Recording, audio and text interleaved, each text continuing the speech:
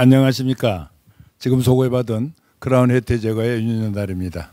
이렇게 뵙게 돼서 반갑습니다. 특히 오늘 제가 아, 이 자리에 선 것은 우리 음악, 특히 국악을 좀 더 많이 여러분들이 사랑해 주십사라는 부탁을 드리기 위해서 사실은 왔습니다. 저희는 그 예술에서 세 부분에서 어 선택을 했습니다. 아, 음악에서는 국악을 택했고요. 어, 문학에서는 시를 택했고요. 어, 미술에서는 조각을 택했습니다. 그 세 분야가 각 분야에서 제일 에, 그 후원이 부족한 분야라고 저희들은 생각을 했었습니다. 그리고 또 우리 회사가 아, 그거를 우리 직원들이 함께 함으로 해서 훨씬 더 우리가 발전할 수 있는 계기를 마련할 수 있는 그런 어, 그 장르라고 생각을 해서 어, 새 종류를 생각했습니다. 조, 조각을 좀 더 많이 알려야 되겠는데 이걸 어떻게 선전할 방법이 없어요. 전시를 해도 어, 오신 분만 오고 안 오, 전혀 안 오실 분들 전혀 오시질 않으니까 어떤 방법이 없더라고요. 그래서 저희들이 2020년에 22년에 한강 조각 프로젝트라고 그래가지고 우리나라의 야외 조각을 하는 조각가라는 조각가는 다 불러서 작품을 내게 했습니다. 그래서 한 300점 정도 어, 저희들이 작품을 받아서 한강에서 여의도, 반포 또 뚝섬에서 전시를 했었습니다. 그래서 저희가 매년 공연하는 창신제라는 게 있고요. 그 다음에 매월 하는 양주 풍류학회가 있고요. 매주 공연하는 영재 국악회가 있습니다. 계속 뭐 공연이 쉴 새 없이 저희들이 진행을 하고 있어서 어 굉장히 공연이 많습니다. 저희들이. 창신제라고 하는 매년 저희들이 대대적으로 하고 있는 공연에 대한 설명을 올리도록 하겠습니다. 창신제라고 그 이름을 지은 것은 법고 창신에서부터 생각을 해서 어, 옛 것을부터 배워서 어, 새로운 것을 만들어 보자. IMF가 왔을 때 저희 회사가 도산을 했습니다.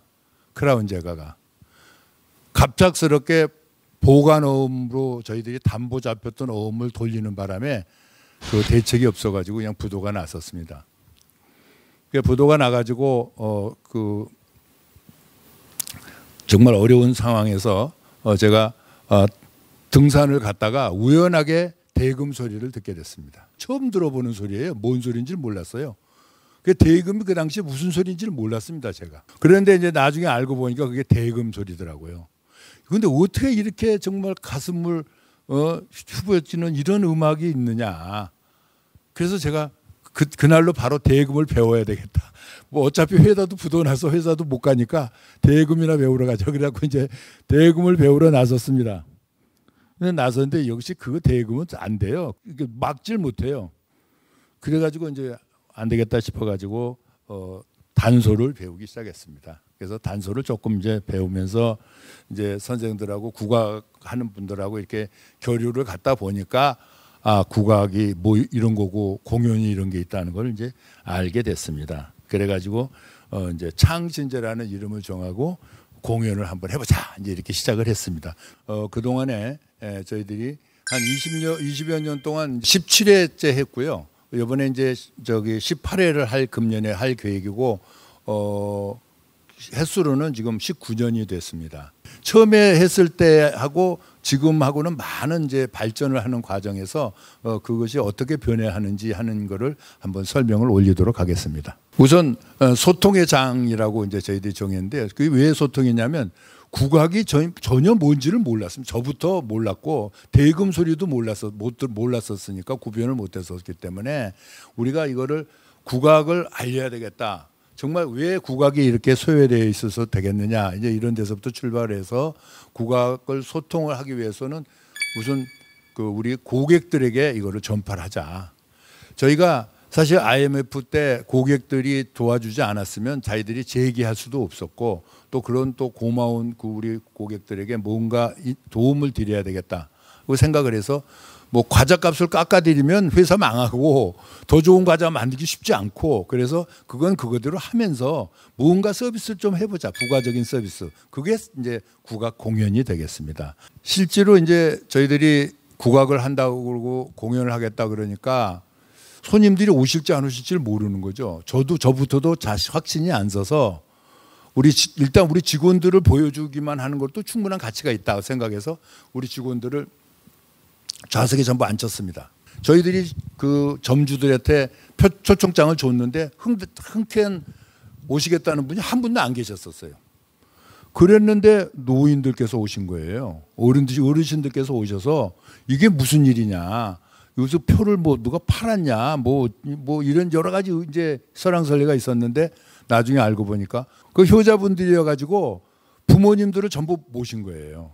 그 전혀 생각지 못했던 손님이 오신 거죠.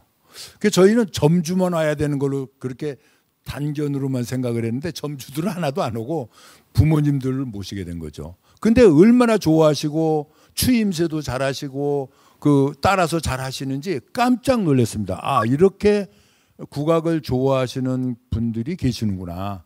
이제 그렇게 생각을 하고 해봐야 되겠다 이제 이러고 있는데 우리 영업 상무가 오더니 뭐 난리가 났어요. 이게 이제 아주 대박을 쳤다고 무슨 대박이냐 그랬더니 점주 사장님이 우리 영업 사원을 불러가지고 음료도 주시면서 어제 국악 공연 이라고 잘했느냐 우리 어머니 아버님 뭐 도와주라고 근데 뭘 도와주랴 이렇게 물은 거예요.